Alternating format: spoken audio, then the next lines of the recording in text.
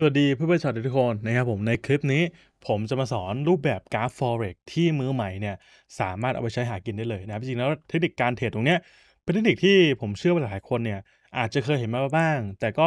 อาจจะไม่ได้เข้าใจจริงว่าต้องเล่นยังไงนะครับต้องบอกได้เลยว่าเทคนิคนี้เป็นเทคนิคที่เรียบง่ายมาก มือใหม่ใช้ได้ ฟังคลิปนี้จบบอกได้เลยว่าเอาไปใช้หากินได้เลยนั่นเองนะครับ ถ้าอยากรู้ว่าคืออะไรแนะนำว่าฟังคลิปนี้คลิปนี้นะครับได้รับการสนับสนุนโดย Broker XM นะครับ Broker Forex อันดับหนึ่งทั้งในไทยและต่างประเทศ ทาง XM เนี่ยเขามีโปรโมชั่นใหม่สำหรับเทรดเดอร์มือใหม่ทุกคนเนาะก็คือ เพียงแค่เรานะครับสมัครเปิดบัญชีเทรดกับ XM นะครับก็สามารถรับ 30 ดอลลาร์ไปเริ่มต้นเทรดได้เลยฟรีๆนั่นเองนะครับและที่สำคัญนะครับถ้าเราทำกำไรได้เนาะกำไรตรงนี้สามารถถอนออกมาได้ด้วยนั่นเอง XM เนี่ยยังมีทีมงาน support สำหรับคนไทยโดยเฉพาะนะครับจันทร์ถึงศุกร์24 ชั่วโมงต่อวันเลยนั่นเองนะครับถ้าใครนะครับสนใจเนาะเข้ามาเป็นครอบครัวเดียวกันนะครับกับ XM ลิงก์สมัครอยู่ใต้คลิปนี้สามารถสมัครเข้ามาได้เลยนั่นเองนะครับไอ้ concept ที่ผมจะมาให้เนี่ยจริง ๆ แล้วเนี่ยมันก็เป็น concept ชื่อนี้แหละครับคือการเทรดตามเทรนนะครับชื่อนี้เป็นชื่อที่หลายคนทุกคนพูดกันหมด ทุกคนพูดเสียงเดียวกันบนโลกนี้ว่าเทรนคือเพื่อนของเรา เราต้องเล่นตามเทรนนะครับ แต่ไม่ค่อยมีคนออกมาสอนว่า แล้วต้องดูเทรนยังไง แล้วต้องเทรดยังไงนั่นเองนะครับหลายๆคนจะพูดเหมือนกันหมดเทรดตามเทรนสิตามเทรนสิแล้วเทรนที่แท้จริงเนี่ยมันคือยังไง นะครับเทรดตามเทรนยังไง ต้องเล่นเทรดยังไง เดี๋ยวตรงเนี้ยผมสอนให้เลยนะครับ อันดับแรกเลยนะครับ ก็คือเราต้องเข้าใจก่อนว่า สิ่งที่ผมจะสอนให้ในคลิปเนี้ยมันคือเทคนิคในเรื่องของการ scalping นะครับ หรือว่าการเล่นเทรดสั้นๆ แบบประมาณชั่วโมงหนึ่งจบ ครึ่งชั่วโมงจบ 10นาทีจบอะไรประมาณนั้น เพราะฉะนั้นวิธีการดูเทรนเนี่ยมันจะไม่เหมือนกับที่คนทั่วๆไปเขาสอนกันนะครับที่คนทั่วไปสอนกันก็คือเขาให้ทำทำอะไรครับ ที่คนทั่วไปสอนก็คือเขาจะให้เราเนี่ยทำการซูมออกมา แบบนี้นี่คือสิ่งที่ผมถูกสอนมาเหมือนกันตอนที่ผมเริ่มเล่นเทรดใหม่ๆนะครับแล้วเขาก็จะสอนให้ผมเนี่ยทำการตี trend line ขึ้นมาแบบนี้ถูกไหมเพื่อดูเทรนว่าโอเค ตอนเนี้ยมันคือเทรนขาขึ้นนะครับแล้ว concept อย่างที่สอนกันก็คือในเรื่องของการที่กราฟทำแบบนี้ครับนี่ concept ที่ทั้งในไทยและต่างประเทศสอนกันหมด ก็ดูแบบนี้ แต่ตรงเนี้ยมันจะงงนะครับทำไมมันถึงงงล่ะ เพราะว่าอะไรครับ เพราะถ้าเราซูมออกมา เขาก็จะตีแบบนี้ครับเขาจะบอกว่าโอเค มันมีทั้งอุ้ยโทษทีครับ ใช้ผิดฟิโบนัชชีมาเฉยเลย เขาก็จะบอกว่ามันมีทั้งเทนภาพรวมนะครับเทนภาพย่อยเทนภาพเล็กเทนภาพน้อย แล้วก็กราฟมันก็งงนะครับ ผมดูอย่างนี้แล้วผมก็งง จนกระทั่งผมปรับเปลี่ยนใหม่ ได้เป็นเรียนรู้เทคนิคที่ดูเทนเรียกได้ว่ามีความแม่นยำสูงนะครับเพราะว่าเราไม่ดูกว้างขนาดนะครับ เราซูมเข้ามาดู เราซูมเข้ามาดู แล้วก็ฝึกอ่านว่าเทรนณปัจจุบันเนี่ยมันคือเทรนอะไรนะครับเพราะนั้นก่อนที่จะมาอ่านตรงนี้ได้ เดี๋ยวเรามาฝึกกันก่อนว่าเทรนที่แท้จริงเนี่ยมันคือยังไงนะครับขออนุญาตเปลี่ยนสีตรงนี้เป็นสีดำนิดหนึ่งแล้วกันจะได้วาดง่ายนะครับคือต้องเข้าใจก่อนว่า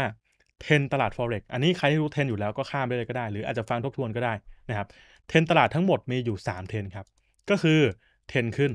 เทรนลง แล้วก็อะไรครับ sideway ถูกไหม เวลากราฟมันวิ่งขึ้นครับเทนขึ้นนะมันจะเป็นทรงแบบนี้นี่ส่วนอีกอันนึงก็คือในส่วนของเทนขาลง จะเป็นทรงแบบนี้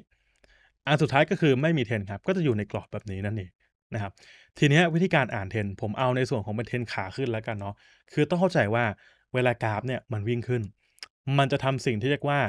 จุดสูงสุดของราคาครับ คือมันขึ้นไปไกลแค่ไหนไม่รู้แหละ แต่สุดท้ายแล้วว่ากราฟมันจะขึ้นอย่างเดียวไม่ได้ ถูกไหมมันต้องมีการกลับตัวลงมาครับ เพื่อมาทำอะไร มาทำแนวรับย่อย แล้วให้จำไว้เลยครับว่าจากจุดเนี้ยกราฟเนี่ยมันก็พยายามที่จะวิ่งขึ้นไป เพื่อไปทำอะไรครับ ไปทำจุดสูงสุดใหม่เหมือนเดิมนะครับ เสร็จแล้วเนี่ยไปถึงจุดหนึ่งครับ มันจะขึ้นต่อไม่ได้ มันต้องทำอะไรครับ ต้องมีการกลับตัวลงมา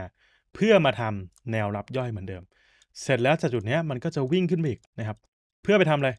เพื่อไปทำจุดสูงสุดของราคาใหม่ พอไปถึงจุดหนึ่งแล้วไปต่อไม่ไหวครับ เหนื่อย ก็ต้องกลับตัวลงมา เพื่อมาทำอะไรครับ แนวรับย่อยเหมือนเดิม แล้วก็ขึ้นไปทำจุดสูงสุดใหม่ แนวรับย่อย จุดสูงสุดใหม่ แนวรับย่อยจุดสูงสุดใหม่ แบบนี้นั่นเองเขาก็เลยเดาก็ได้ว่าโอเคกราฟก็จะวิ่งขึ้นแบบนี้นะครับ ถ้าเราสังเกตดูนะครับ จุดที่เราควรเล่นเทรดมากที่สุดคือจุดไหน จุดนี้ครับ จุดนี้ครับ จุดนี้ จุดนี้และก็จุดนี้ เพราะอะไร เพราะถ้าเราไปเล่นเทรดตรงเนี้ยเราไปเข้าบายใช่ไหมหวังให้กราฟวิ่งขึ้นตรงเนี้ยกราฟมันก็จะวิ่งลงก่อน เราก็จะหัวเสียได้ติดดอดาวได้ เพราะนั้นไม่ควรควรเล่นคือจุดนี้ครับ เข้าปุ๊บกราฟวิ่งขึ้นเลย แล้วควรคัดกำไรออกจุดนี้ครับ แล้วก็รอมันกลับตัวลงมาใหม่ เข้าบายตรงนี้วิ่งขึ้น คัดกำไรออก จุดนี้เข้าแนวรับตรงนี้นะครับ วิ่งขึ้น คัดกำไรออก พูดเนี่ยมันทำง่าย แต่ในกราฟจริงเนี่ยถามว่าแบบนี้มันเกิดขึ้นไหมมันเกิดขึ้นครับ แต่ไม่ได้เกิดขึ้นบ่อย เพราะนั้นมันเลยทำได้ยากครับ ที่เราจะทำในกราฟจริงเนี่ยมันจะมีหลากหลายรูปแบบมาก แต่ทั้งหมดทั้งมวลเนี่ยคีย์หลักของมันคือแบบนี้ครับ คือการที่กราฟเนี่ยมันจะวิ่งขึ้นก่อนผมใช้เป็นสีเขียวแล้วกันจะได้ไม่งงนะ สีเขียวนี้วิ่งขึ้นเสร็จปุ๊บวิ่งขึ้นเสร็จปุ๊บนะครับไปถึงจุดหนึ่งอะมันจะไปต่อไม่ได้มันเหนื่อยนะครับมันต้องมีการกลับตัวลงมาพักตัวนะครับ เสร็จแล้วมันทำอะไรทำแนวรับแบบนี้ครับปุ๊บนี่แนวรับจุดนี้คือจุดนี้ขึ้นไปทำจุดสูงสุดใหม่ เหมือนเดิมครับถึงจุดจุดหนึ่งจะไปต่อไม่ไหวแล้วเหนื่อยนะครับ ต้องมีการกลับตัวลงมาเพื่อทำอะไรอีกก็ลงมาทำแนวรับเหมือนเดิม นี่คือวัฏจักรที่มันเกิดขึ้นซ้ำแล้วซ้ำเล่า ซ้ำแล้วซ้ำเล่านะครับอย่างที่ผมบอกว่าเราควรเข้าบายจุดไหน เราควรเข้าบายเมื่อราคาเนี่ยมันทำแนวรับแล้ว เข้าบายตรงนี้เข้าบายตรงนี้นั่นเองนะครับเพราะฉะนั้นเมื่อเราเข้าใจตรงนี้แล้วเดี๋ยวเรามาเจาะลึกกันว่าโอเค แล้ววิธีการเข้าบายจริงๆเนี่ยมันต้องทำยังไงนะครับ ก่อนอื่นเหมือนเดิมครับ ให้จำไว้เลยนี่คือโครงสร้างราคานะครับที่สมมตินะเราเห็นแล้วว่าโอเค กราฟเนี่ยมันวิ่งขึ้น วิ่งขึ้น เราอย่าพึ่งย้ำนะครับว่าอย่าพึ่งไปรีบเข้าบายตรงนี้ ถ้าเราบายตรงนี้ บางครั้งเนี่ยโอเค มันขึ้นต่อได้ก็จริง แต่บางครั้งครับมันก็ไม่ใช่ไง มันทำอะไร มันกลับตัวลงแบบนี้ก็มีนะครับ แล้วบางคนก็จะหงุดหงิด เออบายปุ๊บกราฟลงอะเซลดีกว่า พอเซลเสร็จกราฟมันก็ทำอะไรครับ มันทำแนวรับ แล้วมันก็ขึ้นต่อ เราก็จะหงุดหงิดอีก อะปิดเซลมาบายต่อ แล้วมันก็ทำอะไร มันก็กลับตัวลงอีก เพราะว่าอะไร เพราะจังหวะที่เราเล่นน่ะมันผิดไงฮะ เราผิดหมดเลย เราไปทำอะไรครับ เราไปบายตรงยอดตรงนี้ เรามาเซลตอนที่กราฟแค่ลงมาสั้น ๆ ตรงนี้นี่ เพื่อมาทำแนวรับแล้วขึ้นต่อ เรามาบายตรงนี้อีกมาบายย่ออีกกราฟต้องการจะวิ่งลงอีกนะครับเราจะมั่วไปหมด เพราะนั้นวิธีการแก้คืออะไร เรารอครับ รอโครงสร้างราคา ตรงนี้สมมติเราเห็นกราฟวิ่งขึ้นไปแล้วนะครับ วิ่งขึ้นไปเยอะมาก เราอย่าเพิ่งไปบายไปเซลครับ รออะไรรอมันทำจุดสูงสุดก่อนจะเรียกเป็นจุดสูงสุด รอมันทำแนวต้านแบบนี้ครับนี่ พอทำแนวต้านเสร็จรู้แล้วอ๋อเดี๋ยว move นี้จะเกิดขึ้นเว้ยนะครับ เราทำอะไรครับ เรารอสิรอให้มันกลับตัวลงมานะครับ กลับตัวลงมาเสร็จปุ๊บทำอะไรทำแนวรับแบบนี้ จุดนี้ฮะถามว่าจะเกิดขึ้น ผมเชื่อร้อยทั้งร้อยว่าเด็กอนุบาลก็ตอบได้นะฮะ move นี้ครับกำลังจะเกิดขึ้น นี่คือเรียบง่ายไหมเรียบง่ายมากเพราะนั้นทำอะไรครับ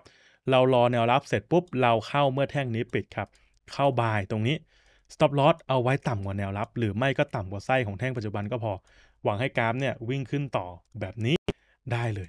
นะครับ ได้เลย อย่าเพิ่งไปบายข้างบนยอดเหมือนเดิมครับ รออะไร รอวัฏจักรเดิมครับ รอมันกลับตัวลงมาก่อน รอราคาทำแนวต้านตรงตรงนี้ปุ๊บทำแนวต้านเสร็จใช่ไหมจุดนี้คือจุดนี้อ่ารู้แล้วโอเค จุดนี้ไว้คือจุดที่จุดสูงสุดแล้วน่าจะต้องมีการกลับตัวลงมานะครับ เพื่อมาทำอะไรล่ะ ทุกคนตอบได้เหมือนกันหมดนะครับ แนวรับตรงนี้นะครับ ผมให้เวลาคิด 5 วินาทีถามว่าตรงเนี้ยกราฟมันจะขึ้นหรือลงต่อ ทุกคนจะตอบได้เสียงเดียวกันว่า มันควรที่จะต้องวิ่งขึ้นต่อ ถูกไหมฮะเพราะว่า move เนี้ยมันรออยู่ไง มันรอที่จะวิ่งขึ้นอยู่กราฟก็จะวิ่งขึ้นครับ นี่คือวิธีการเล่นของเราเรา buy ตรงไหนครับ เรา buy ตรงนี้เมื่อมันปิดเป็นแนวรับปุ๊บ เรา buy ครับ SL ต่ำกว่าไส้ของแท่งปัจจุบันพอ แล้วหวังให้กราฟวิ่งขึ้นต่อแบบนี้ ถามว่าที่ผมสอนตรงนี้มันเกิดขึ้นจริงไหมอะไม่ต้องไปไหนไกลครับ เลื่อนมาดูปัจจุบันนะครับ ขออนุญาต clear กราฟนิดหนึ่งปุ๊บแล้วมาดูปัจจุบันครับ มันเป็น setup ที่เรียบง่ายมาก จะเห็นว่ากราฟเนี่ยมันทำอะไรครับ มันวิ่งขึ้นไปจุดอะผมย้อนกลับตรงนี้นะ มันวิ่งขึ้นมาจุดสูงสุดของราคาครับ ย้อนกลับอีกแท่งหนึ่งนี่ โครงสร้างราคาเป็นทรงแบบนี้จำได้ใช่ไหมนะฮะถ้าเรามาบายตรงนี้มันคือการที่เราจะบายตรงไหนครับ อาจจะบายตรงนี้ก็ได้ แต่ถามว่าโอเคโค้ดแล้วถ้าเราไม่บายแล้วกามันขึ้นล่ะ ก็ปล่อยมันไปถูกไหมเพราะเราไม่รู้หรอกว่าเฮ้ยมันจะขึ้นต่อไหมหรือมันจะเกิด move นี้แล้วมันจะวิ่งลงแล้วนะครับ เราไม่รู้ไงเราต้องทำอะไรครับ เราก็ต้องรอนะครับ หลายๆ คนรอไม่เป็นก็เลยเสียเทรดนั่นเอง เราต้องรอครับรอมันทำอะไรทำแนวต้าน ปึ้งอ่าพอทำแนวต้านเสร็จนี่คือกราฟจริงนะ time frame 30นาทีของ GBP JPY นะครับ พอทำแนวต้าเสร็จเรารู้แล้วโอเค move นี้ไว้น่าจะเกิดขึ้นไว้นะครับ ก็รอเลยครับ รอมันวิ่งลง วิ่งลง ถามว่าเราบายเลยได้ไหม ยัง ถ้าเราบายเลยไม่ได้ครับ เพราะมันยังไม่มีแนวรับ เราต้องรอให้มันเกิดแนวรับก่อน ถ้าเราบายเลยครับ เราอาจจะบายตรงนี้ เรากราฟจะลงต่อก็ได้ เพื่อทำอะไร เพื่อลงมาตรงนี้ แล้วก็มาทำแนวรับตรงนี้แทนก็ได้ ถูกไหมฮะ มันก็จะกลายเป็นจุดนี้เป็นจุดนี้แทน เพราะฉะนั้นเราอย่าเพิ่งไปรีบบายตรงนี้ครับ ต้องรออะไรครับ รอแนวรับเกิดขึ้นก่อนนี่ เห็นไหมถ้าเราบายนะครับซวยเลยถูกไหมเพราะว่ากราฟมันอาจจะวิ่งลงมาตรงนี้ เพื่อมาทำแนวรับจุดนี้ก็ได้ ไม่จำเป็นต้องจุดนี้นะครับมันไม่ได้การันตีว่าทำตรงไหน เพราะนั้นการันตีก็คืออะไรรอมันทำแนวรับครับ นี่มาแล้วเห็นไหม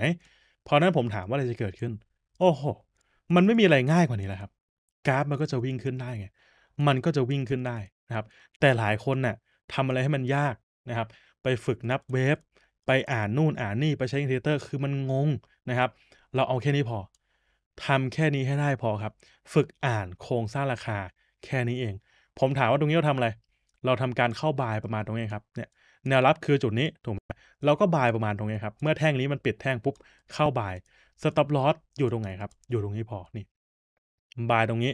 stop loss ตรงนี้ TP ก็ 1 ต่อ 1 พอนะครับ ประมาณนี้ บางคนหวังขนาดนั้นได้ไหมไกลๆเลย คือมันได้นะครับ แต่ต้องเข้าใจว่าเออบางครั้งเนี่ย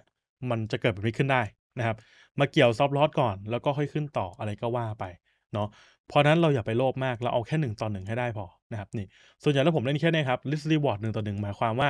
เทรดนี้สมมติเราบายตรงนี้ใช่ไหม SL ตรงนี้ ถ้ามันโดน SL จะเสียสมมตินะ ประมาณ 10 เหรียญ ถ้า TP ก็ได้ 10 เหรียญแค่นั้นพอนะครับประมาณนี้ก็เห็นว่า TP สบายใจนะครับ ไม่ต้องมาลุ้นด้วยว่ากราฟมันจะยังไงต่อนะอันนี้ถ้าเราไม่ TP ก็เรียบร้อยโดน stop loss นะครับแต่ก็เห็นว่าทั้งหมดทั้งมวลเนี่ยโครงสร้างราคามันก็เป็นอะไรอยู่ มันก็เป็นเทรนขาขึ้นอยู่ถูกไหมครับ ประมาณนี้ อย่างเทรดนี้นะครับก็เห็นว่าราคามันทำอะไรครับ มันทำแบบนี้อยู่ถูกไหมทำแนวรับเรียบร้อยแล้ว ผมถามว่าจะเกิดขึ้นโอ้โห